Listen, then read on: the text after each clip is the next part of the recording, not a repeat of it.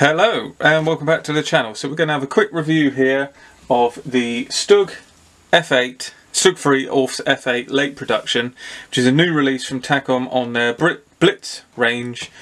And as you can see, I got this for $37.99. I bought this direct from uh, Jadlam Models in the UK. Open on a Sunday, so I drove up there as we were going somewhere and nipped in and grabbed it. So it's uh, pretty much brand new as far as I know, as far as release. has been out about a week at this point. So let's have a look inside the box, see what we get, see what we're looking at, see what sort of kit we're dealing with. So as I said, there we go. Um, we got Jadlam. Uh, I like to. I'm very lucky where I live. Uh, I got about three to four very good model shops, all within an hour away. Um, it just happened that Jadlam was open on a Sunday, so uh, and I was going that way, so we went there first. But it's um, it's very nice to have the amount of uh, shops I've got locally, and um, I do try and utilise them when I can. No bad thing. Maybe I shouldn't buy so many kits. Do excuse, a uh, bit unusual. I've got black gloves on. We'll have to get over it. I'm working the ground at the nursery at the minute, so um, very hard to uh, keep the hands clean for videos. So, what we've got you may have seen there is quite a lot of interesting parts. Now what I like about these sorts of armour kits at the minute, which is why I'm highlighting this, for $37.99, I was talking to a friend about this, we've got link and length winter Ostketten, winter Ketten tracks, we've got a metal gun barrel, photo etch, copper wire for the tow cables. I mean, you know, five years ago, you would have had to pay nearly 100 quid to get all of this. Um, to a kit form, you would have taken the Dragon kit and then you would have added bits to it and on it goes. So uh, we are living in a great time to be getting models like this released.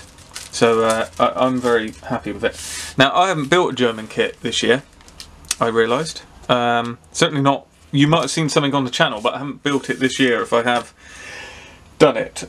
And that's no bad thing. Um, I like doing the Allied armour, but uh, I, you know, I'm gonna I'm gonna be doing something German soon, and um, well, we'll be going full on when we do do it. Uh, so, what we got here is smallish. I don't even know what size this would be, but it's it's uh, noticeably small. We'll say that, and it's um, side opening. I will actually say in some parts it's almost a little bit too condensed.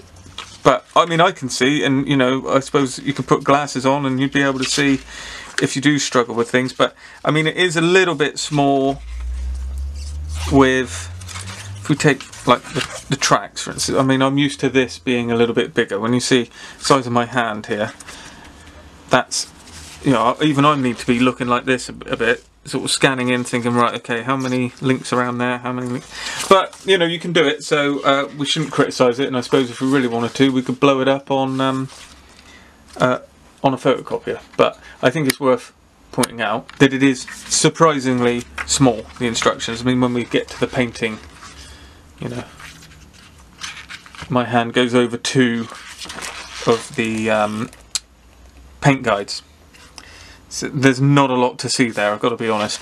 But anyway, let's look at the uh, breakdown parts. So we've got, this is the most generic sprue, the oldest one I think, the A. This is in all Stug Gs and all the way through. And then we've got a few different, um, the fact doesn't go then A, B, C, D, E. I'm not totally sure, but I'm guessing that we're dealing with, we've got sprue M, N and F. I'm imagining these are the majority of the stuff because this is an F and they haven't done an F before, they've done a G. And my understanding, and I do not know a lot about Stugs, is that the F is a different um, upper structure, upper hull, superstructure, than the G. That's, oh, that's what I'm going to say, and I'm sure there's going to be plenty of people that can correct me in the comments. I did uh, have a brief conversation with um, Evan at Panzermeister just to check is there any glaring issues? And he seemed to think the kit was okay so that's um, that's good enough for me. Now as we go through this is meant to be simplified. It's not actually. There's plenty going on I think but we've got a full hull um, lower hull tub. So this is all one piece. We've got the front and back. There's nothing really to add other than the swing arms. And they're in a fixed position. Once you've got that done, a couple of the um, suspension units for the front and rear uh, torsion bars and then we've got the housings for the sprocket there and then we're straight on to the wheels. And it's as simple as glue two wheels together and stick them on. Apologies, so it's very shiny paper. And then we've got the um, return rollers as well going on. Uh, we've got the idler and the sprocket.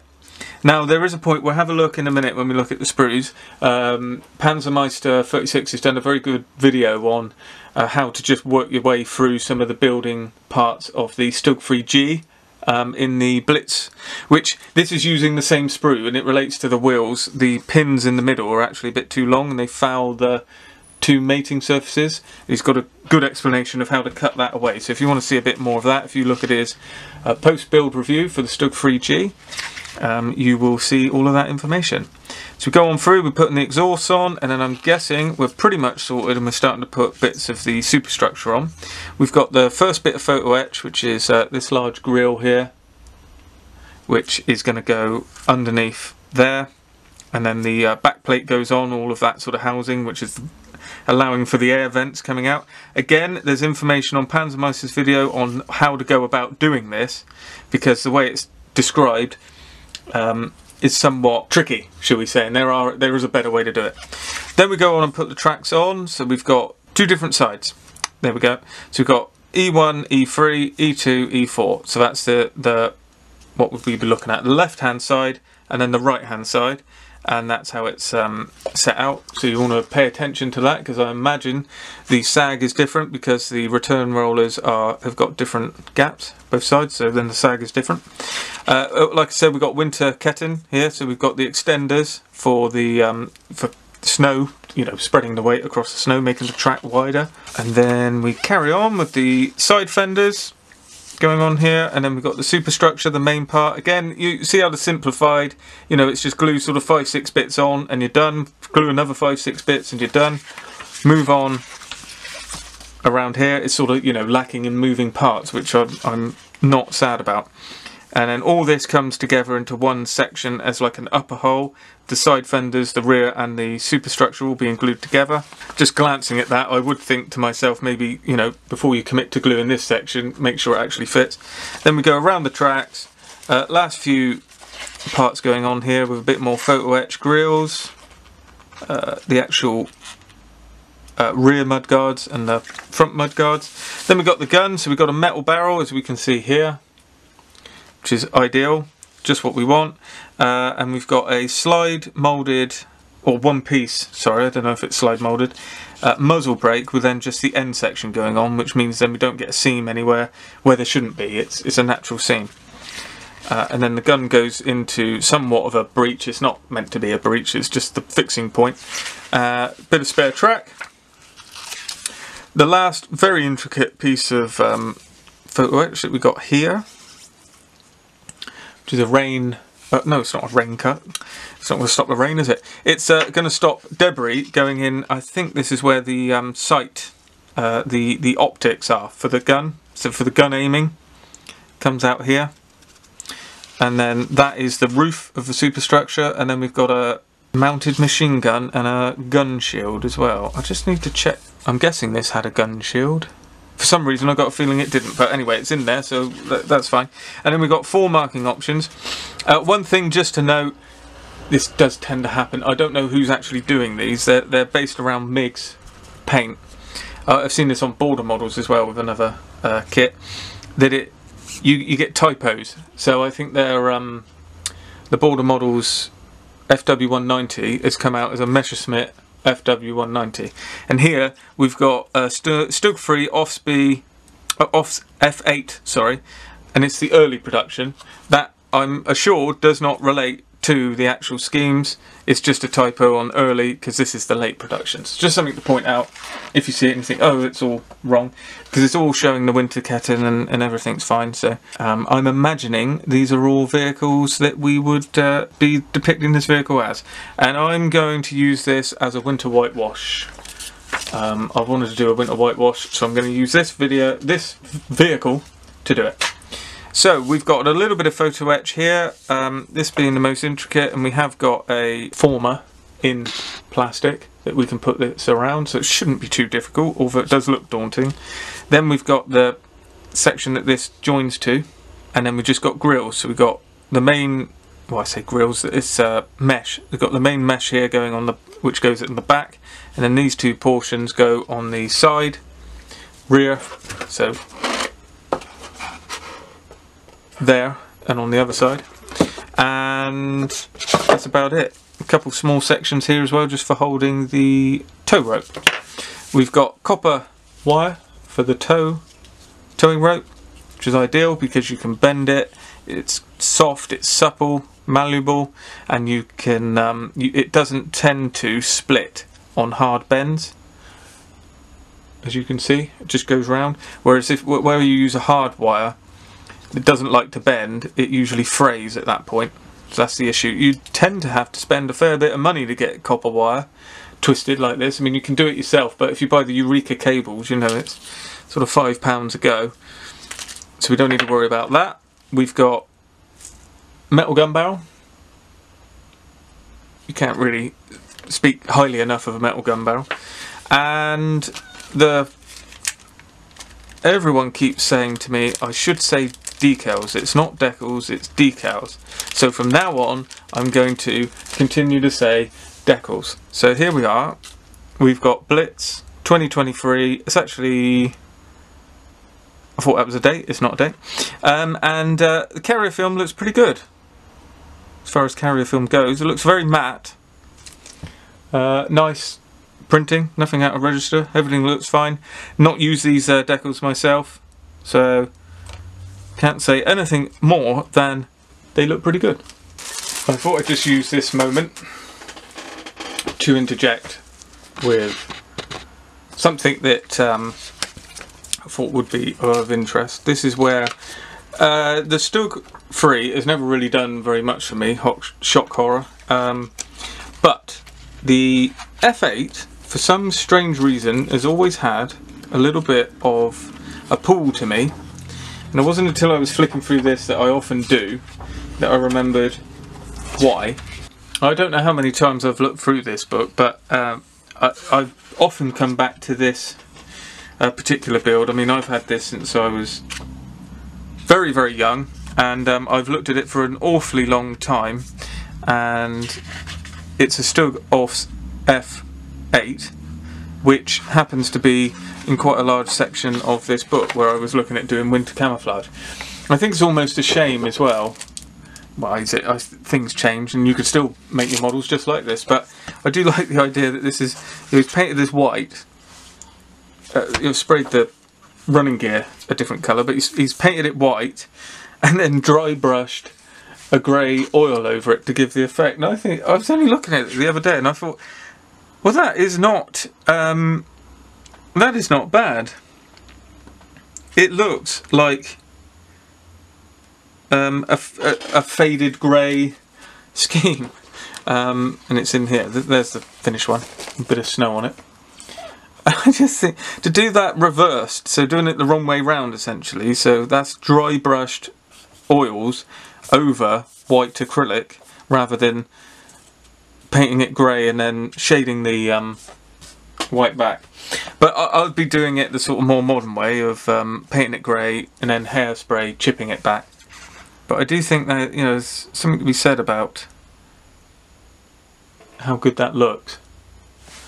And this is where I, I realised that this was the same model because it's got that uh, housing there, which is always, you know, as a sort of what was I, sort of 11, 12 year old, looking at this, it always perplexed me as to, you know, what these things were. So it's nice now to have a model, you know, come full circle and have a brand new model out of the F8. I know we had it from Dragon. They're difficult to get, you know, it's almost like they came and then they've gone again because it's sort of 60, 70 quid, which kind of eliminates the whole point of what makes these models interesting, you know, the fact that they're affordable.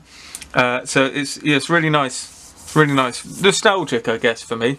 And here we are, full circle. So let's get back to the kit. So I don't think we need to go blow by blow every single sprue as we go on through, but it, it did that rhyme? Uh, but we'll um, we'll look at the sort of you know the high points if you like. So these are the uh, Winterketten link and length tracks. So this is the length, which has got the moulded in sag there across the return rollers, and then the flat bit at the bottom. Now listen up, Tamiya. They've uh, managed to mould the holes for the Hammerstollen, which is like this. I don't know what it's like a. It's like a um, it's like a hook thing. It's not the right word. I, I know the word I'm thinking of, and I can't think of it. It's like um, a gauze, grouser, I suppose. If you think of it like that, it's like a a thing that goes in, which helps hit into the ice. And you also have cleats that go in these middle bits, which come on the kit. I'm not an expert on uh, Panzer threes and fours, but they had it, and that's what these holes are for. And often these are moulded over like a recess or not hollow but these are just about hollow. With that, it does also make them look extremely thick, but we'll, you know, we'll go around that. We'll, we'll, we will not worry about that. There you can see, you can see my black glove coming through here. So that's what they are. So this just denotes the early track. It was a 36 centimeter track and then a 40 centimeter track. That's the width. These are the wider ones, uh, seen from sort of late 41, 42-ish onwards. And then the slimmer ones that don't have the Hammerstollen, they were the earlier ones back into France. So there we go. Uh, we have ejector pin marks on the inside. So there's one there, there, there, and that's both sides. However, you are not going to see it on the top. You will see it a little bit on the bottom in between the wheels. My suggestion would be to, once you've got the wheels on, offer it up before painting. And then if they're covered, don't worry about it. And if they're not, just a li little dab of super glue. Go in there with a sanding stick and just rub it back like that. Because they are recessed. That's often the best way I can do it. Um, you know, it's like a a little blob of super glue. It's just sort of raised like that, makes a little bump, and then you can sand it back. So that's those tracks.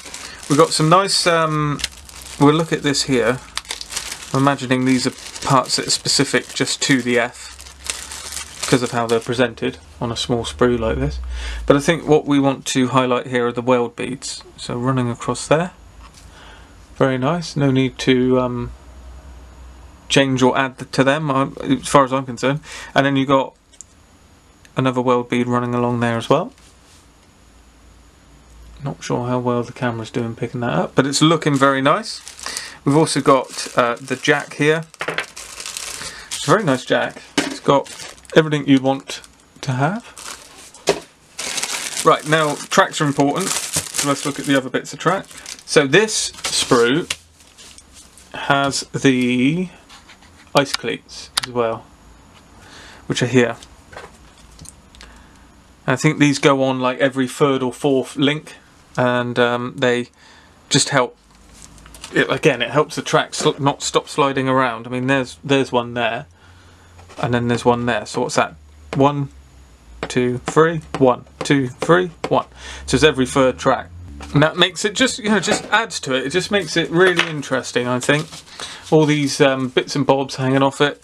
The uh, the wider um, sections as well of the Winterketten and often you see them bent as well so I'm, I'm gonna try and do that where they're joined just sort of bend them in a little bit so that when you've got that effect like this on the model and they all go around like that they're sort of some are bent in some are bent out you see them broken off um, I'll look at some reference and see how how much that actually happened and then try and um, try and add a bit in. But these are the, the links. So these go around the sprocket and they go around the idler. There's a nice sprue there and we've got some uh, other sections there with the links and a couple of repeating tools because this is a repeating sprue so they chuck it on there. Now I did see on Facebook I think when this kit was announced that someone was saying kit's very good but it's a shame about the A sprue because it's showing um, mould slippage. So I thought well I want to check that. It doesn't look any different to any of the other sprues. Now, uh, again, look at Panzermeister's video if for more detail. And I'll be uh, lifting his technique and using it in my video. But uh, what we're talking about here is that this part, these rods here, foul up on these rods. Because they sort of don't need to be there or it's too much. So the thing you do is you cut these out and then that will glue in nicely. If you don't, you'll you'll struggle to get the two parts together. But check his video out and um, I'll put a link down below and you'll see that, in more detail. But over here, I mean, it's generic wheel sprue. Um, you've got sprockets, idlers, road wheels, return rollers, and then the uh, swing arms and all that sort of thing, torsion, not torsion bars, the swing arms, and uh, repeating stuff all the way through here. Everything looks absolutely fine, and the tyres say Continental, which is very good indeed. All adds to the detail. Looking at this sprue here, uh, I can't see anything massively different, although I think this is specific to the F, because it has the former for that um, that sort of cage that goes over the uh, optics. so what we got here is really, really great detail there on the um, the side fenders here. Nicely raised. You can hear it there. Extremely well done. Incredibly well done, actually. You actually look at that and think how they managed to mould that as well. Uh, you've got welds all around here on this part of the superstructure, which is very nice. And then we've got the boxes here as well. Welds all the way along, all the way along. Very nice. Look at that. Really good. All those welds on every single mating surface. Spare wheels. Few other bits and bobs. All looks very good. Then we've got Sprue M. Terrible glare, I know, but that is just another load of um, sort of generic parts, I think. Lots of the bolt-on armour plate, tools, slide moulded uh, tow cable, eyes. As you can see, that's what that means. Got the one piece tub. Nothing wrong with that. Very sturdy, very nice. Lots of external detail. So some of these parts are dated. The whole tub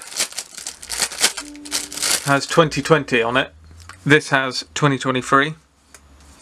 2023, so it's obviously brand new. Exceptionally well done. I cannot wait to get building this. Um, lovely recessed weld lines all the way around there. All the way around these raised parts as well. Very, very well done. And then lastly, we've got sprue N. This is a 2020 sprue as well. Bit of slide moulding there on the muzzle brake, as I, as I thought it might have been. Very well done. So there we are. Hopefully I didn't uh, waffle on too much there and that was of interest. But that is the Stug Free Ausf F8 late production from Takom for their Blitz range. I think it's a very nice looking kit. I'm going to be um, cracking on with this one over the next couple of months to try and get that one built up. I'm going to add some crew and we're going to try and do a little bit of uh, scene to it. So uh, if you like what you see, let me know down in the um, comments below and um, if you haven't already, do consider subscribing to the channel. That will keep you posted for everything that's coming down the line. So as always, thanks for watching and I'll see you in the next video.